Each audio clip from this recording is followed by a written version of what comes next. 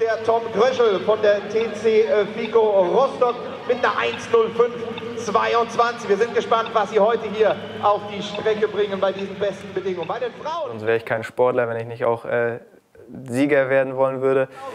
20 Jahre, dein Köln, dein Ziel. Er ist ein ganz, ganz zäher Hund, der aber weiß, was er tut. Und das macht ihn so stark. Tobias Blum, Tim, Ramdame, Sherife, Jonas Koller. Also ich bin gespannt, es wird angegangen auf 65 Minuten und dann werden wir sehen, wie sie durchkommen.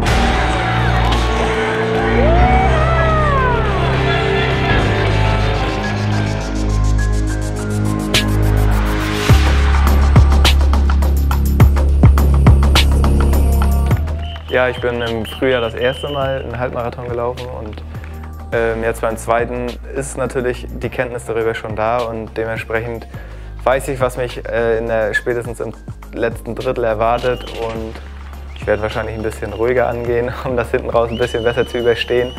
Ähm, ja, und dann soll es auf jeden Fall eine Bestzeit werden.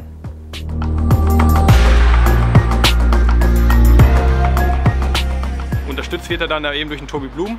Ja, wir sind einfach eine Familie und ein Team und das macht morgen auf jeden Fall Spaß. Egal wie es ausgeht am Ende. Wir werden Spaß haben.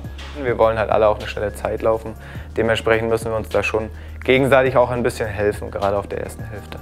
Er weiß, was er tut.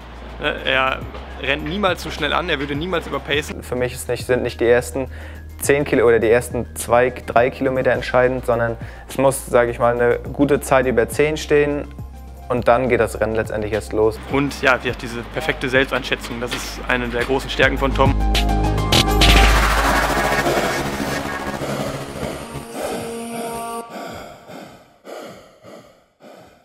Ja, meine Macke ist auf jeden Fall, dass mein Auto immer sauber sein muss und ich äh, ziemlich allergisch reagiere, wenn es von innen, gerade von innen, wenn jemand dann da mit schmutzigen Schuhen einsteigt und es ist dreckig. Also mein Lieblingsschuh auf der Straße ist der ähm, Nike Streak. Privat, da sind es halt einfach Sneaker, weil ich auch gerne bequem privat unterwegs bin. Ich bleibe beim Jaguar, weil der Jaguar, weil ich den als Tier mag, weil er elegant läuft, schnell läuft und weil ich auch die Automarke sehr mag. In meinem Kühlschrank gibt es eigentlich immer mindestens eine Avocado zu finden, weil ich zum Frühstück immer ein halbes Brötchen mit Avocado esse. Man sollte schon diszipliniert sein und seine Ziele auf jeden Fall kennen, aber man muss dem Ganzen auf jeden Fall immer noch ein Stück weit Lockerheit mitgeben, weil ohne die wird es halt einfach nichts. Selber hat natürlich häufig auch Pech gehabt durch ein paar Verletzungen und eben durch diese harte Arbeit bei der Polizei. Er musste eben erstmal die Ausbildung fertig machen und ist dann immer ein paar Monate von der Bildfläche verschwunden, weil er dann eben Vollzeit arbeiten muss. Und jetzt hat er eben das geschafft. Er ist fertig, er ist freigestellt vom Sport, muss dann eben nicht ähm, so oft arbeiten, auch noch ein paar Wochen, aber kann sich jetzt viel mehr darauf konzentrieren. Also ich mache mir schon meine Gedanken vor jedem Rennen und ich weiß halt, habe genau meinen Plan. Ich packe einfach alles schon so weit hin und damit ich halt morgen an dem Tag, an dem Tag X, an dem ich halt Höchstleistung bringen möchte, wirklich mich am wenigsten mit möglich wenig anderem beschäftigen muss. Diese Fokussiertheit schlägt dann in Euphorie um und dann tut auch keine Sehne mehr weh, dann bin ich einfach so auf meiner Wolke und dann kann ich, geht's zum Einlaufen und dann geht's zum Start und dann geht's los und dann renne ich einfach.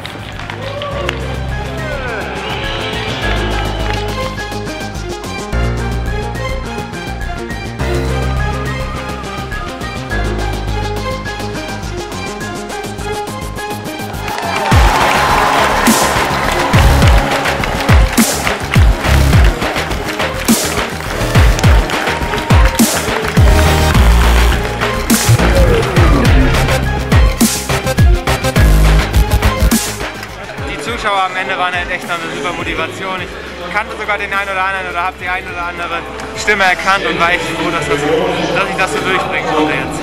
Die Zeit sitzt hier zweitrangig, das war mir aber am Start schon klar. Sehr gut. Und deshalb bin ich sehr zufrieden. Ich bin eigentlich ganz happy, als Zweiter im Ziel angekommen zu sein.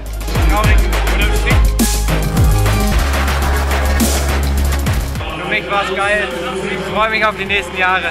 Ich kann jedem empfehlen, hier nach Köln zu kommen, weil die Strecke schon flach ist und eben die Stimmung gut ist. Und ich glaube, es gibt wenig Marathons und Halbmarathons, wo die Stimmung da mitteilen kann. Ja, wir sagen immer, das ist so das Stadion am Dom äh, mit den Tribünen links und rechts. Tom Bartels als äh, Reporter des Weltmeisterschaftsfinales wird den Leuten hier einheizen.